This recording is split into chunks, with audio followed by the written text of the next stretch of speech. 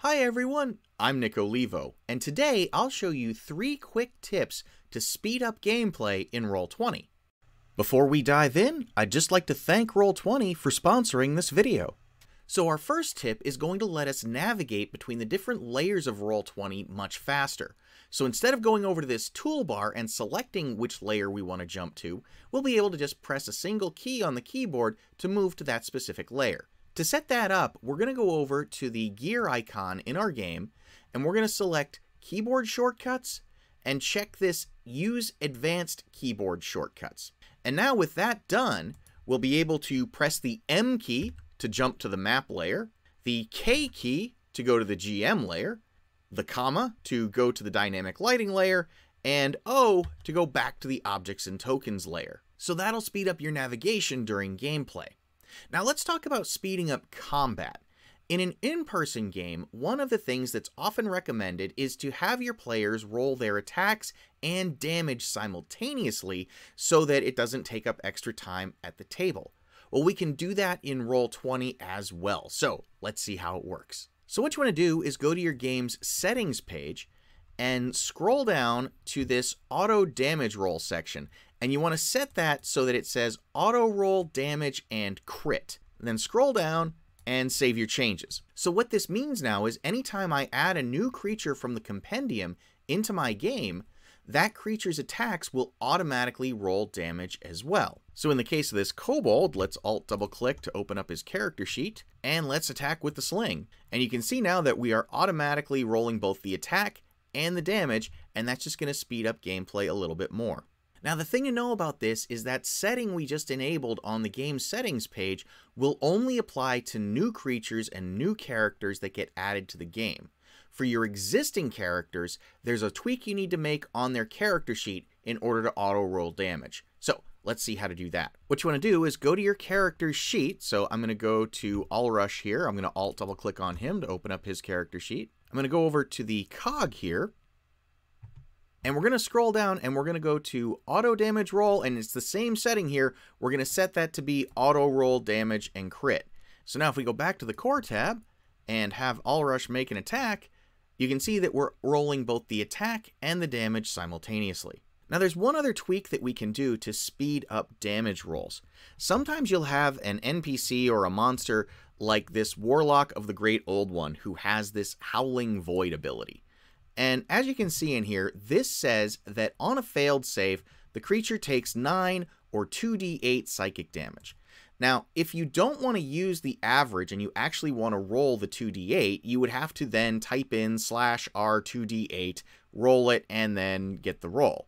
But what we can do is actually edit the character sheet here so that it automatically does a roll for us. So what I'm going to do is click on the cog for the Howling Void entry, and I'm going to change this line right here. Instead of having it be the average and parentheses 2d8, what I'm going to change that to is two open brackets, 2d8, and two closing brackets. And we'll save that. And now when we roll Howling Void a second time, you can see that we actually rolled 2d8 and we have that rolled damage automatically displayed here in the template. Now our final tip is going to be setting up buttons for commonly used actions like attacks and spells and saves. And this way you won't have to open up each monster's character sheet in order to perform an action. Now there are two different ways we can approach this. I'm going to show you both of them, so buckle up, here we go. So the first thing we want to do is open up the character sheet that has the actions we want to make buttons for. So I've opened up my Warlock here.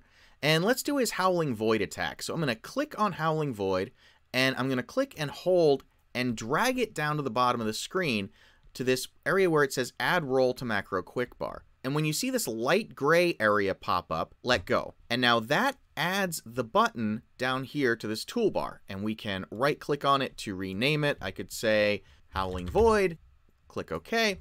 And then we can also right click on this to color it. So if we wanted to give the Warlock's button, say red, and another creature's buttons would be blue, we can do that. And this is kind of nice because you can have multiple creatures' actions down there in the bar. So let's bring up our kobold here. I can put the kobold's sling attack down there, and I can do the same thing, rename it, sling, and I can color it. Maybe I want the kobold to be blue and, and so on. So now if a fight breaks out in the bar and my kobold wants to use its sling, I don't have to open its character sheet. I don't have to select its token. All I have to do is click the sling and we've made the attack and the damage. Same thing for the Warlock. One final thing to mention about this toolbar is how you remove items from it.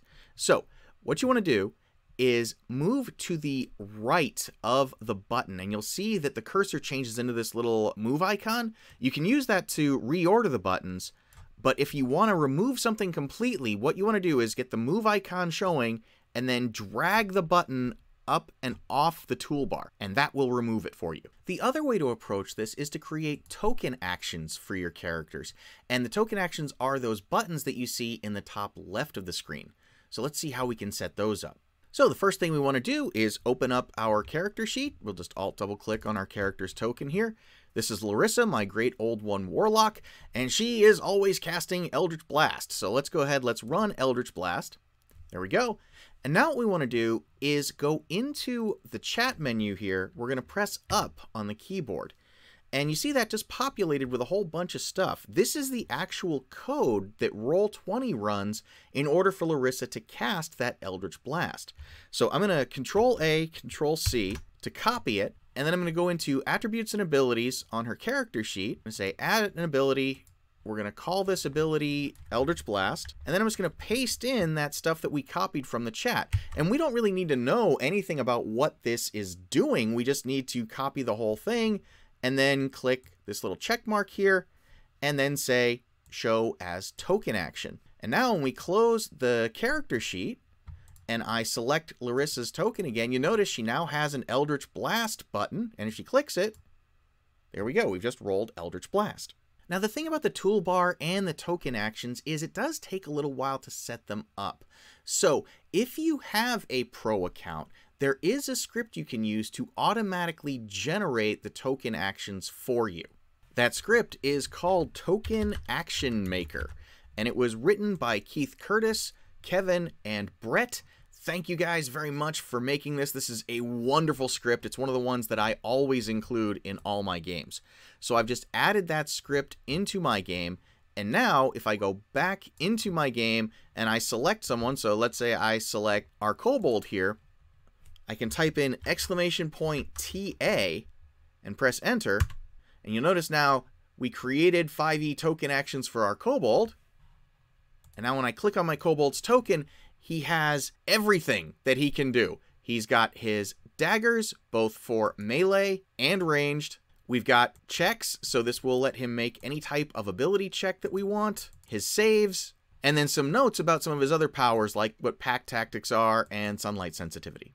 So that script really speeds things up. Thank you again to Keith Curtis, Kevin, and Brett for building it. Again, you do need a pro account in order to use that. So there you have it. Three ways that you can speed up gameplay in Roll20.